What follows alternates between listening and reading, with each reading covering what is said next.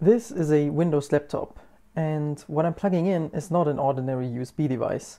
It only takes a couple of seconds, and I just stole all the Wi Fi passwords saved on this computer. What you've just seen is a bad USB, and if you want to learn more about bad USBs, how they work, why they are such a threat to the security of your computers, how you can build one yourself, then check my new online course. Hi, I'm Stefan, also known as Spacehuhn. I've been building open source hacking tools since 2016, mostly based on Arduino. I try to make them beginner friendly and interesting to kind of demystify the whole hacking and IT security field a bit and make it more approachable. I made projects like the ESP8266 Deauther Wi-Fi duck and I'm also involved in the Malduino from Maltronics. So I made this online course for anyone that is interested in getting into hacking or learning more about bad USBs and information security in general. Of course, this is also interesting for anyone who want to build their own bad USB, really learn how they work and test their own computers. So yeah, in my online course, you will learn how bad USBs work and why they are different to regular USB devices. You will learn what kind of different bad USBs are available on the market and how they compare to each other. You will learn how they are programmed and how to write your own bad USB scripts. And of course, you will also learn about mechanisms to protect yourself against such attacks. The course contains over 35 lessons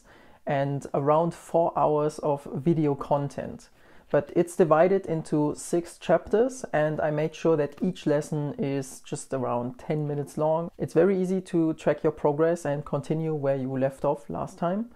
And I've also tried to make it a bit interactive. So you can ask questions, you can get in touch with other students, there are quizzes, and you can start your own discussion. I also added subtitles to every video, and I also made sure that each lesson also has a written description. So if you ever want to go back and just look up a simple fact, you can do that. Or if you watch the video but um, maybe you didn't understand something, then you still have that written description as well. So I really tried my best to make it more accessible for different kind of learning types.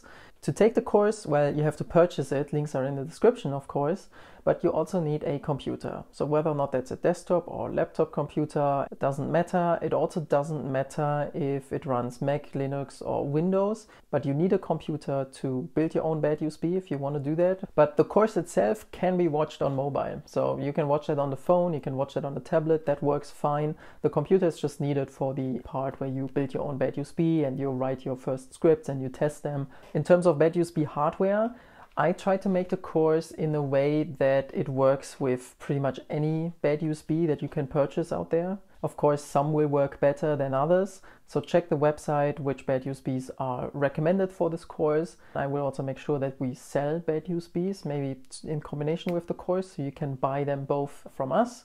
But if you don't have a bad USB yet, you can still enjoy the course. Most of the content doesn't require you to have a bad USB. You can test a lot of that on your computer without requiring hardware. There's also a chapter in the course which goes through the different kind of bad USBs that are available, as well as a chapter just dedicated to tutorials on how to build a bad USB yourself with different development boards.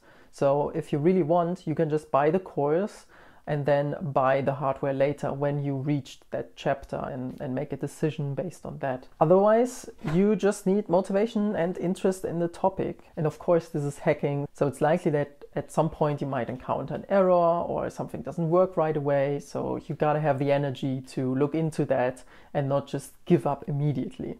I think that's given for most people, but I'm just making sure that that's clear. Check out the website, there will be an example lesson as well. And otherwise, I'm just looking forward to hear what you think about this. I have other projects in the pipeline, but this is probably the biggest one yet. So if you decide to purchase this course, then thank you very much. This helps me support my other open source projects in a tremendous way. But if the course is nothing for you and you still want to support the open source projects that I publish for free online, you can also check out my Ko-fi page. And I really hope that this isn't the last online course I do.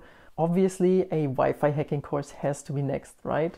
Let me know what you think about that. But anyway, thanks for watching. Thanks for everyone who purchases the course and have a nice week. Goodbye.